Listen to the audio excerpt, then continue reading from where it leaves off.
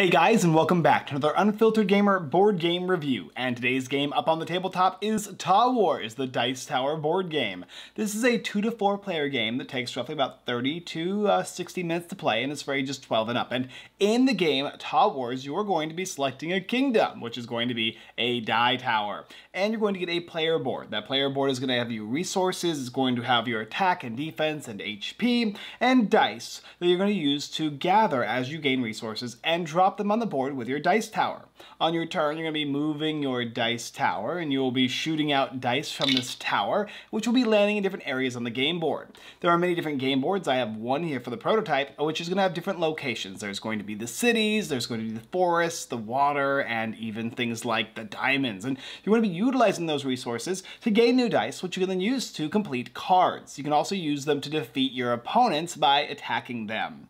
Throughout the game, you're going to try to get these, these uh, crowns here, and if you can get five, you'll win the game. It's a basic, simple strategy game with some unique little twists and turns that kind of adds this little tabletop element like Warhammer to a board game and dice tower all in one. Oh, let's talk about how to set the game up, how to play, and then of course, our review. Setting up the game Tah Wars is actually quite simple. You'll take the main game board and there are multiple different maps. I have one here in front of us and you'll place it within reach of all players. Then, based on the number of players playing the game, they're each going to get a die tower and a player board.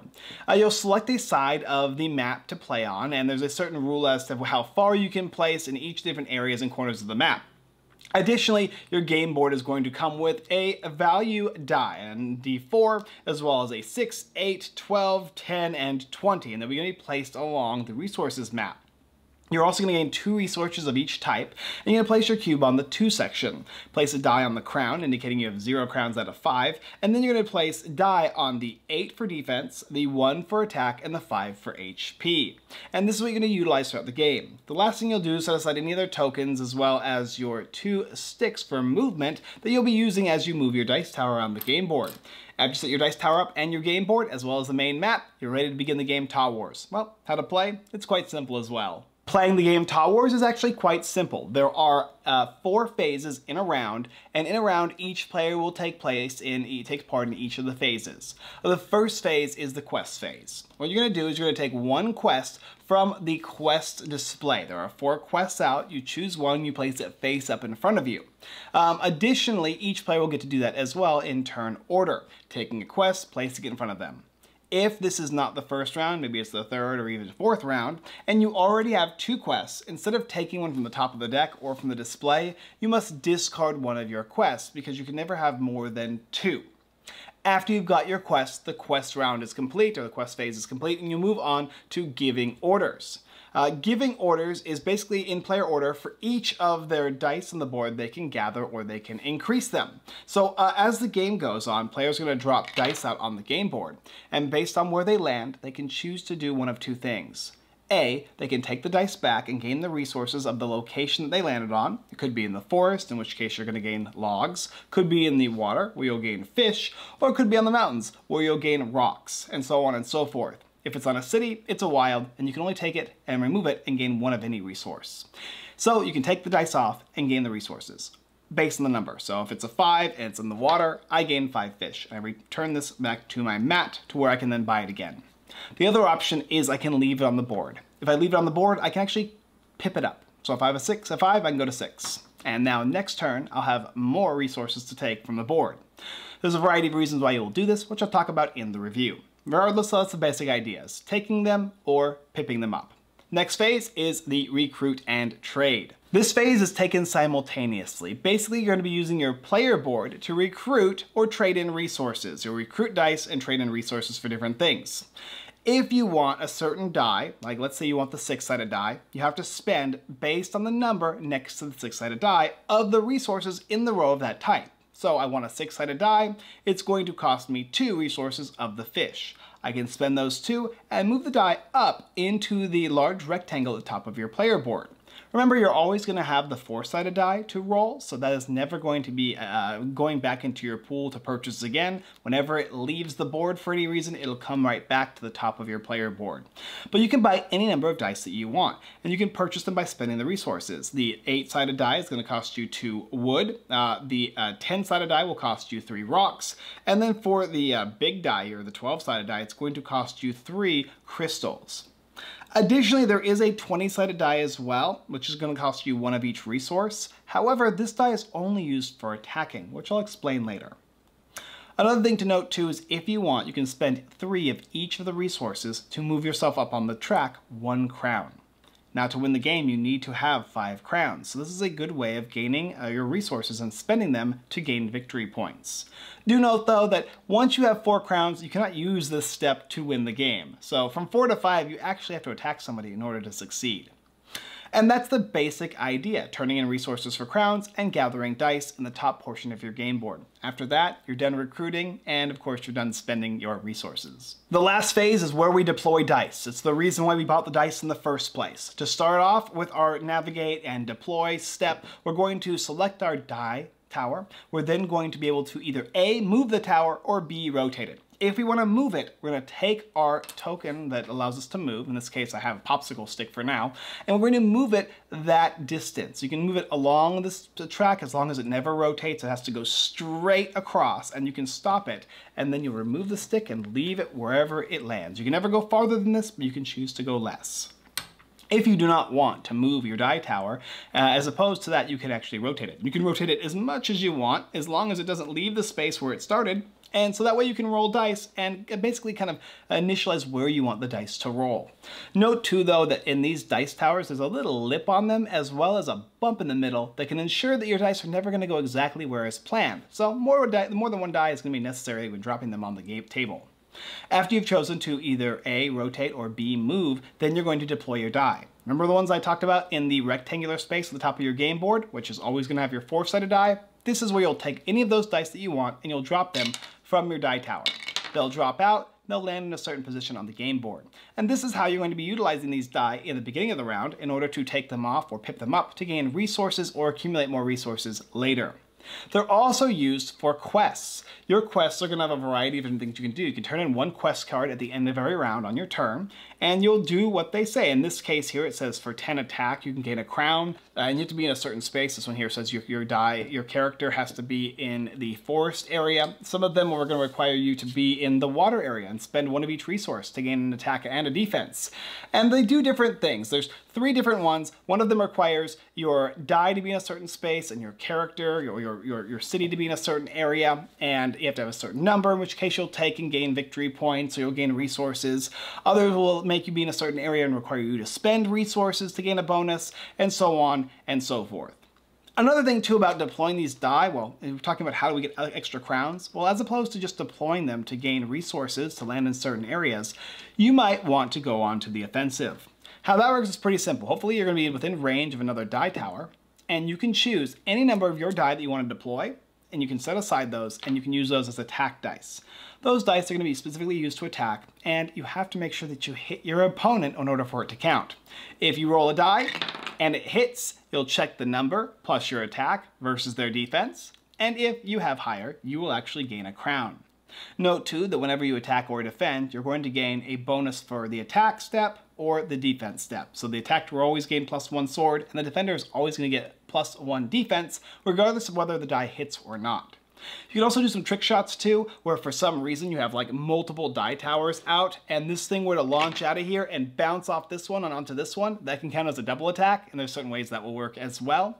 But regardless, for each person that you defeat in combat, that'll get you a crown. So two main ways to get crowns, plus the quests. A, you can either expend resources, three of each kind, B, attack with your dice as opposed to using them as resources in order to have a higher number than your opponent's defense to score a crown and make them lose an HP. Or C, you can turn them in uh, resources wise or whether me having to attack in a certain area in order to get a crown from these cards here.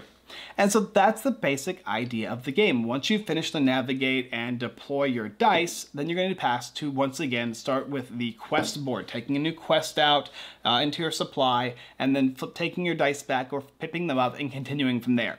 Like I said, whoever hits five victory points is the person who wins the game, and you cannot win the game by simply spending resources. You have to actually do either a quest or to defeat somebody in combat. There you go, that's the basic idea of the game Tower Wars. Well, what do I think about it?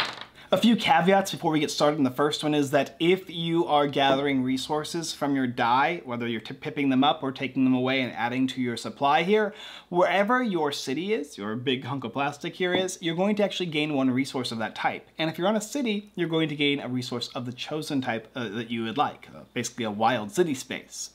Furthermore, you have 5 HP, and if your HP ever goes to zero, you can lose. So in some cases, if you get too far ahead too quickly, other players might start challenging your reign of terror by collectively engaging on you and defeating you in combat. That to note is also though that remember in every single combat phase, regardless of whether you win or lose combat, attackers will always get a bonus to their attack permanently and defenders will always get a bonus to the defense permanently. The attack goes to plus 5 and the defense goes to 13. So in order to defeat a player who has 13 defense, you'll need to roll a die, maybe this 12-sided uh, die. You'll need to roll like an 8 here, and then you have to have 9, 10, 11, 12, 13, so maybe a 9. A 9 and a plus 5, which will defeat that player. Thusly, they will not be able to gain any new defense. Uh, but that being said, those are the main caveats I have for the game. Otherwise, this is a pretty straightforward type of a game. You're going to basically be uh, utilizing your cities, moving them around the game board, trying to complete quests by A, having your city in a correct area, and B, dropping dice in the area that you need to drop them in, and then, of course, you're also going to be needing to recruit in certain dice. Like I said before, the D20 is only used for combat. It's a high roller, and it's very powerful. And you can use your resources uh, to spend them in order to gain your crowns. Oh, there's also a little cool thing I forgot to mention too. It's a small thing, but I might as well cover it here now, is when you gain resources, let's say that you gain six wood and you already have two and the max you can have is five, you're only going to go to five. But you're also going to gain plus one resource at the bottom uh, of the next column. So if I have two rocks and I just gain five wood and I have more wood to gain than I can't, I'll actually go to three rocks. And let's say that I had five wood and I gained one.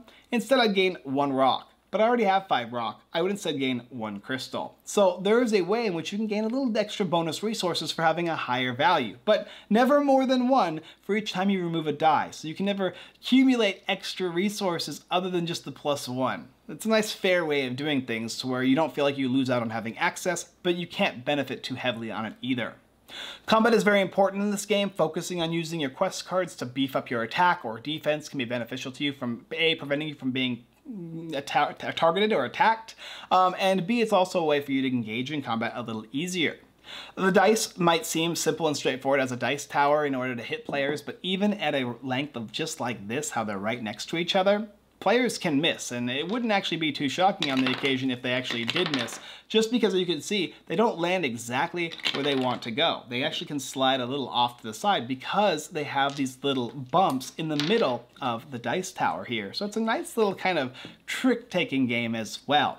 Positioning yourself correctly, angling and using the correct dice, and making sure that you hit your targets that you want or locations that you want is going to be valuable in this game. Now, there's a few rules as to how you're supposed to drop the dice down, of course, and I like to mix it up on the occasion. I'm like, my rule of thumb is as long as it's positioning, you can kind of drop it in however you want. Because really, with this game, it's never to give you exactly, no matter how much you try and cheese it, it'll never get you exactly where you want to go. So it's a lot of fun seeing players mess with their dice and their towers to kind of secure victory and then fail even still in the process. The quality of the game is very nice. These pieces for your cities are beautiful. They're wonderful. They look different. I, lo I love to paint these guys. Uh, the board itself is very straightforward. You understand what portions of the board are forest, which portions are water, mountain, crystals, and then your cities. And they're also outlined as well. So while it might be harder to see on camera, it's definitely easy to see when you're playing the game gathering resources, spending resources, gaining these die, dropping them out, removing them and placing them back on your board is quite a simple process. It's very step-by-step -step and understandably easy to play the game. Four phases, each phase is played interchangeably, either turn to turn or all at once, so it makes a quick, simple type of game with a unique dexterity aspect to it as well. I love these type of games that feels kind of like a dexterity slash Warhammer style game. It's a lot of fun. It's kind of unique. I haven't actually seen a lot of games that kind of implement these type of genres where it's a little bit of resource management, it's a little bit of like that Warhammer, like Warhammer tabletop type war game, and then of course you're playing with dice towers as opposed to Terminators or Tyranids. Overall, Tah Wars is a lot of fun. It's an enjoyable game with some cool art, it's vivid, it's straightforward and simple. This is great for families. Some negatives about the game now. One negative I have is the fact that you can only get two of these cards and you have to discard them when you have too many and sometimes you'll like save up for the specific one, you, you move around for the specific type of card and it'll take a bit to get. Like what I really wish it, that happened is I can either, I can take one uh, from either from either the top of the deck or from the cards that are face up or I can um, discard and take one. I don't ever want to just have to discard.